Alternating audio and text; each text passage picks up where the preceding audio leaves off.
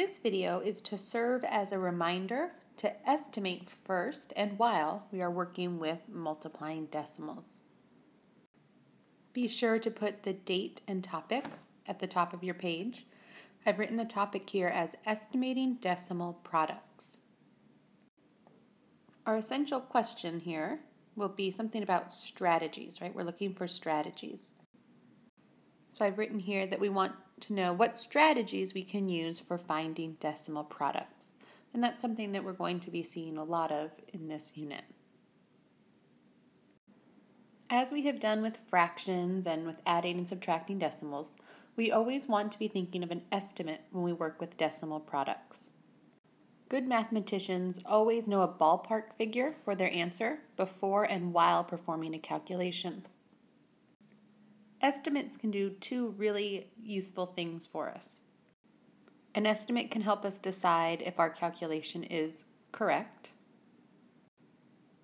An estimate can also help us know where a decimal should go in our answer. We'll do a couple quick estimates here just to get in the habit of doing estimates as we're working with multiplying decimals. I'll start with 9 tenths times 3 and 4 tenths. When I look at this, I know that 9 tenths is really close to one whole. Right? I also know that 3 and 4 tenths is really close to 3, but it's also close to 3 and a half. So I could think of this as 1 times 3 and a half. Of course, without even knowing an algorithm for multiplying decimals, I know a good estimate here would be 3 and a half because any number times 1 is still the same number. So that's my estimate for 9 tenths times 3 and 4 tenths. Let's just do a few more of these. Let's do the same thing with 4 and 92 hundredths times 5 tenths. I know that 4 and 92 hundredths is awfully close to 5, and I can actually probably just keep the 5 tenths as 5 tenths, because I can work with a half pretty easily.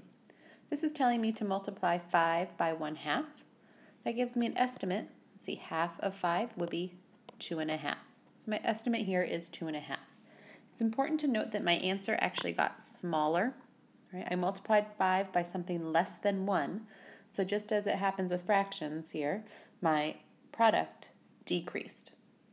We'll just do one more. I'm going to ask you to find an estimate for 3, no, let's do 31 and 2 tenths times 2 and a tenth.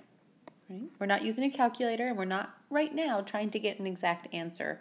This is just a time where we're practicing practicing the skill of estimating.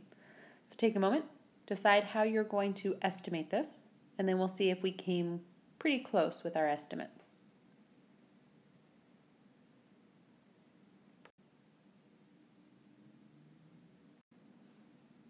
How do we do? I rounded 31 and 2 tenths to 31 and I rounded 2 and a tenth just to 2. So I did 31 times 2. I got 62. I know my product should be in the ballpark of 62.